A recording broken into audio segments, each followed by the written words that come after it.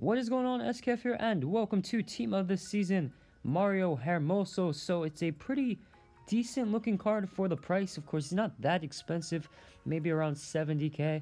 And uh, yeah, the card itself looks really good. You know, the standout, obviously, the 91 pace for a center back. He has 79 passing, 80 dribbling, 87 defending, and 86 physicality. He's also 6 foot, I believe, yeah, 6 foot.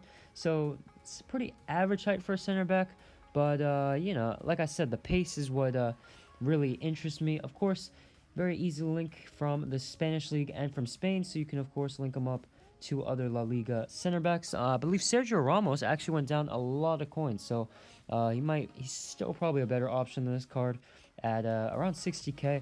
But yeah, this card does look interesting. Of course, I was expecting him actually to get the Team of the Season card during the Community Team of the Season, but he did end up getting it, of course, in the La Liga team the season. So, card itself, like I said, very, very quick, 84 acceleration and 95 sprint speed. He's very quick and uh, definitely can keep up with the fastest attackers. You can see here, catches up to Messi and a great slide tackle to win the ball back. Now, uh, defensively is, uh, of course, you know, most important for a defender. And uh, he's he's a bit inconsistent, a bit unreliable. You know, I do still think, like I said, Sergio Ramos is probably a better option. And uh, I mean, the stats are very good in certain areas. You know, his tackling's excellent, 95 stand and 93 slide tackle, 89 interceptions as well. But the 75 marking isn't great. So I put a Sentinel chemistry style, boosted his defending up, you know, up a bit because uh, like I said, very unreliable at times and will cost you a lot. You know, you can't really use them in the uh, top levels of, you know, if you want to play FUT Champs, you know, he's he's not going to be someone uh, who can defensively be solid, you know. Uh, physically, 86 strength, but he's not a huge physical presence like a Van Dijk, you know, but he's uh, strong enough. 98 jumping as well is excellent for center back. He always wins those aerial battles.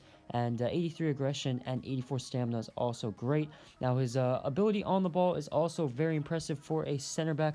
Uh, passing is pretty good 81 short pass 73 long pass and uh, the dribbling you know on the ball like i said 81 composure, 85 ball control, 93 agility, and 84 balance. So he feels very quick, very agile, and uh, can keep up with those uh, agile wingers.